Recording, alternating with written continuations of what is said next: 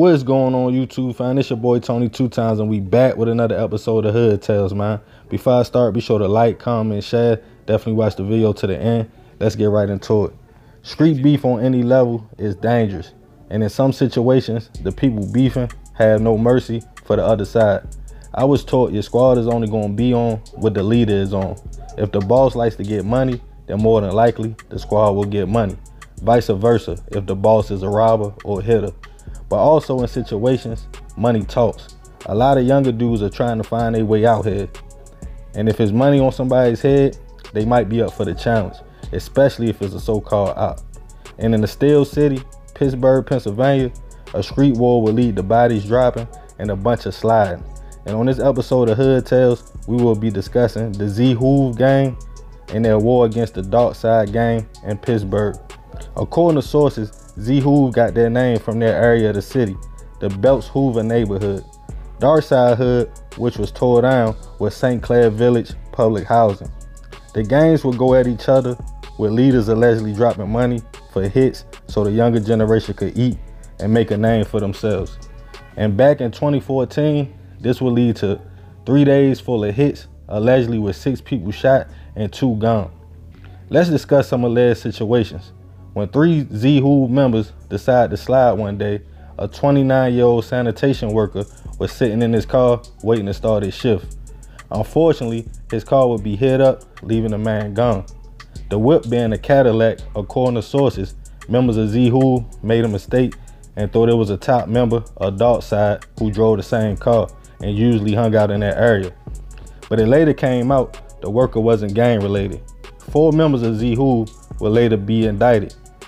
On this hit, three alleged shooters and one of the big duds who allegedly put the money up on a Darccide member. The bounty was 5000 for a non-fatal shooting and 25000 for a successful hit. As the leader of Zhoove, 43 years old at the time, was allegedly getting street money with Brits of Smack coming in from New Jersey to take care of the gang and finance the war. Not too long after, a back and forth shooting spree would happen between the two gangs, lasting for over two days before a triple shooting would happen in the 3100 block of Cordell Place in Arlington Heights of three Darccide members. Police arrived to the scene to find three men hit but in stable condition. They will use video surveillance in the area to track down two vehicles in the attempted hit. The whips were located on Industry Street and were allegedly connected to Zhoove Five members would be charged in this situation. Later that same day, Darccide would try to get some get back by hitting up a car in which they thought the Zhoove leader was in, since it was the same as that whip, and the men looked alike. Just to make the same mistake the Zhoove hitters made and hit the wrong person, leaving him gone as well.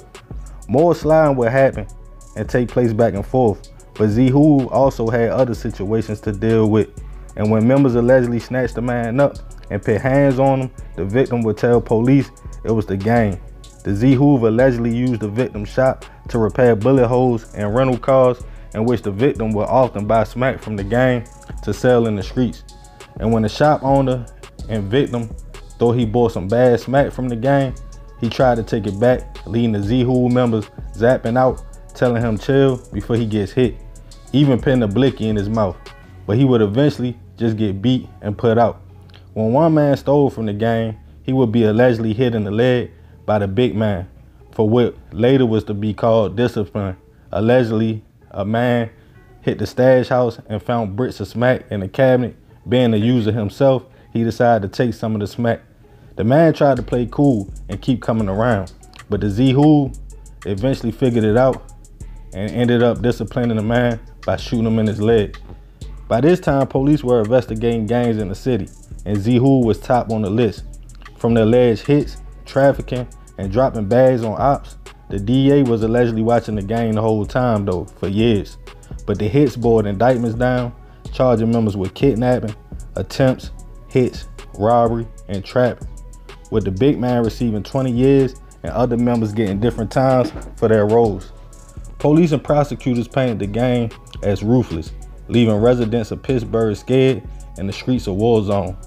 One of the biggest situations being the sanitation worker, who was a family man and hid in the case of mistaken identity.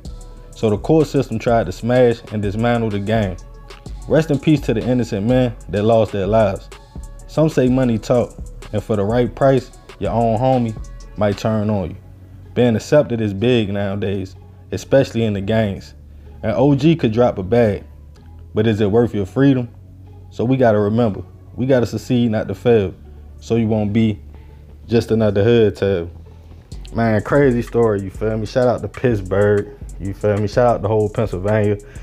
And it's crazy because, you know, y'all here for y'allself, man. Allegedly, these boys was getting real active. And it's crazy because the big dog or the big man of the organization, who was 43 years old at the time, he had the bag, allegedly. You feel me? He had all the product, he had all the smack, he was getting the money. So he was dropping bags, you feel me, to get people out of there, you know. And the crazy thing to me with the whole lifestyle or whatever, if y'all a team and y'all riding for the same thing, I never understood why a person had to drop a bag. Cause y'all riding for the same thing. Y'all got the same enemies. Y'all got the same common interest, protecting y'all neighborhood and getting the enemies out the way. But I guess the big does be dropping the bags so the younger dudes can eat. You feel me? Which is understandable.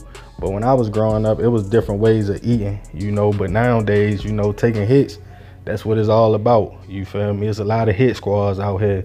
And really it's sad because a lot of times, man, they ain't really got no regard for life. You feel me? Because at the end of the day, when you hit an innocent person, people feel like, oh, that's just a casualty of war. Like we won, we ain't know that was an innocent person. We thought that was somebody else. Yeah, but that's a big mistake. You feel me? You took somebody whole life. Like it ain't like you could take that back and say I'm sorry and they could come back to life. You know, so gotta be careful out here and watch what you're doing. You feel me? And some people be so happy or they feel like we got a out, we caught them lacking, that they don't even get a good look. They see a car, they feel like that's the same kind of car he be in, and they just let off shots hitting the wrong person. But yeah, man, sad situation. Real sad story, man. You feel me? Two innocent people lost their life. You know what I mean? In this unfortunate war, because they trying to say Darccide hit an innocent victim as well, thinking it was the leader of Z-Who. So we just go back and forth, man. But yeah, shout out to Pennsylvania. But y'all already know, man, this is another episode of Hood Tales. Be sure to like, comment, share. If you watch the video to the end, I appreciate it. Hit that like button. This your boy Tony two times. Love y'all, fam. I'm out.